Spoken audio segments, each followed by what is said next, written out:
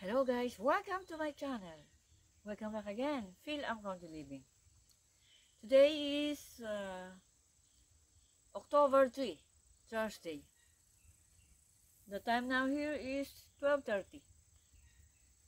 This is my talbos ng kabote. My sweet potato. This is, uh, I plant this August 7. So today is all October 3. So this is almost two months.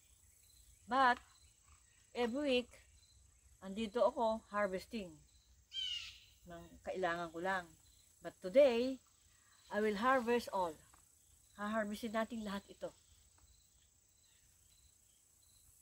Itong aking uh, sweet potato, itinihin ko ito paghahanda ko sa spring. I mean sa, sa winter time. Papasok ko ito sa loob ng bahay. So, samahan niyo akong uh, mag, uh, mag-harvest. Kukuhanin natin lahat ito. Kasi kailangan ko ang medyo madami. Lalagyan natin sa isang recipe. Yes, samahan niyo po ako. Makikita nyo, ayan, no, malaki ang paso. So, ganito lang ako mag-harvest. Typically, in the Philippines, kung mag-harvest, kinukuha natin ang, ang mga sungod. Ito lang, oh, itong dulo. Ito. Ito, oh, oh mahaba siya, oh. Kinukuha lang natin yung mga, ayan, dulo. Pero, ano naman siya, halos mura pa yung dahon. Kung mag-harvest ako, eh, ganito. Magkiti na lang tayo ng kapiraso. Ayan, ito kinukuha ko siya. Mura pa siya. Pero yung iba, gusto ganito lang. Pero, kinu ganito ako mag-harvest kasi sayang eh. Kukuhanin natin lahat ito.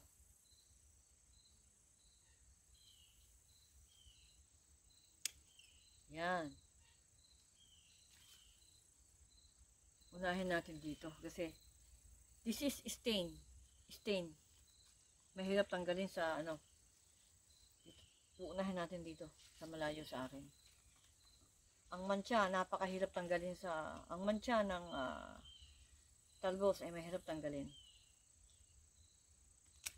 Yan. Yan. Oh, masarap mag-harvest. Masarap umani.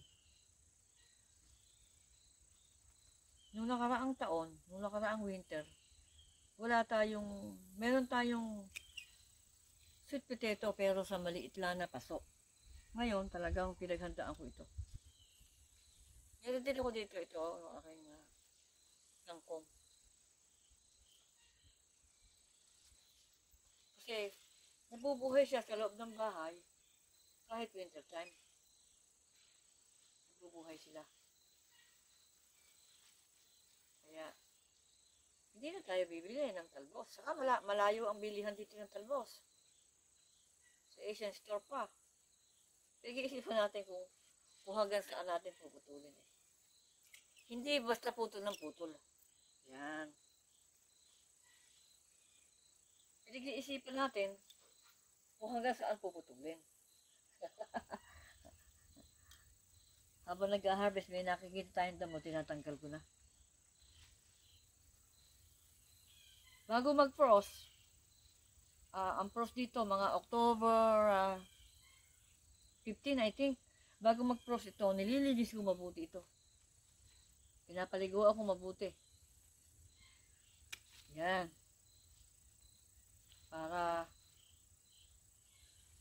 pagdating ng ano, pupuna na, pupunasan lang ng konti and then papasok na natin. Di ba, pinag-iisipan ko mabuti kung ayan.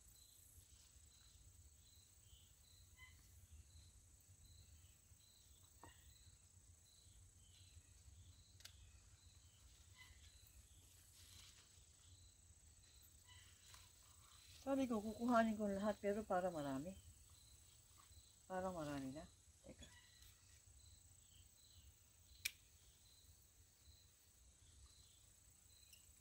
Masarap mag-harvest. Saan pa? Yan. Parang hindi ko kukuhanin lahat kasi madami na eh. Oh.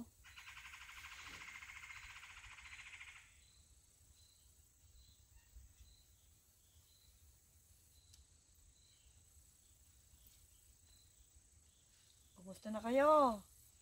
My beautiful friends and subscriber.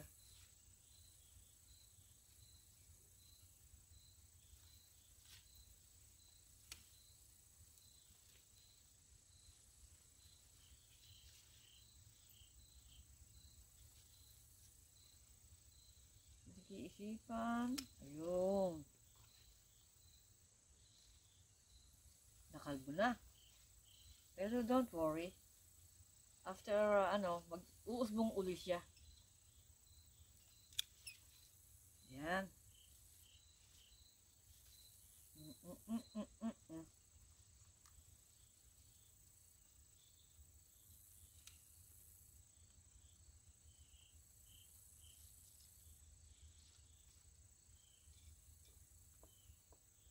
Yes.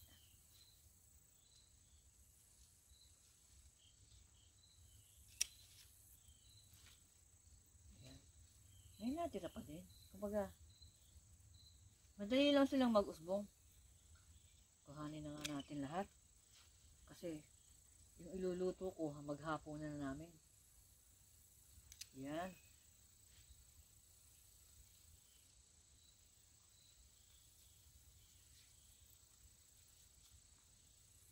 So, eto yung natira, oh. Yan siya, oh.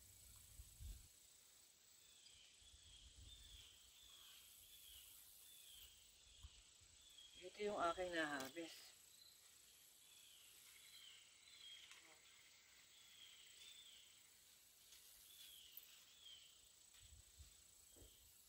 Hmm. Diba? Isang pansahog na yan.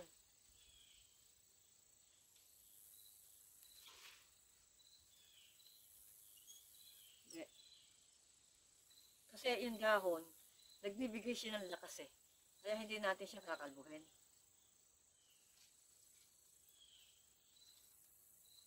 Kuhanin natin to. Magiging uh, yellowish eh.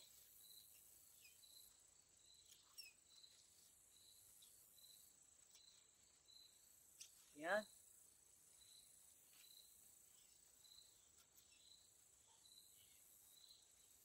Madali namang mag-usbong ang uh, sweet potato.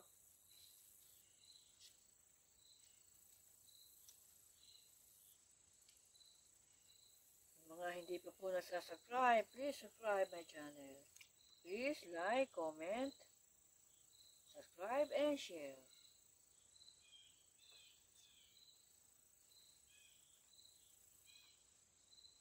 I think okay na. Okay na.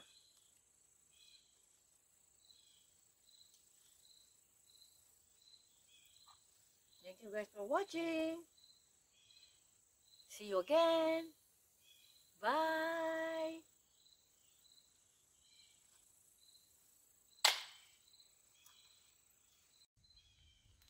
Yeah, that is my kangkong. Kahapon, nag, nag-harvest tayo dito. Kulang pa lang ilang minuto yung aking uh, upload. Kaya ito, sasama ko na itong aking kangkong ngayon. Ayan. Papasok din natin yan sa loob ng bahay.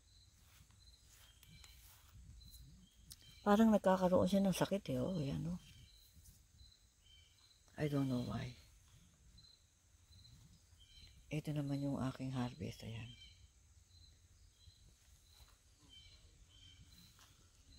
Ayan ang aking uh, talbos na kinuha na natin. Tignan niya yung paso. Ayan o. Ganyan siya kalaki. Ayan pa yung paso ng aking kangkong. Kaya let's wait and see. Papasok natin yan sa loob ng bahay.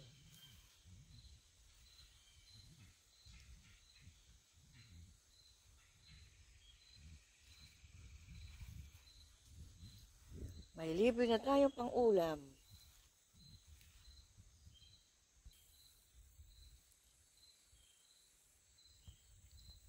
It's a beautiful morning.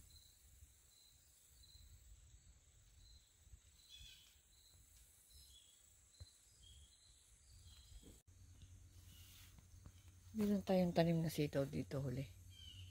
Ayan o. Kuhana natin to.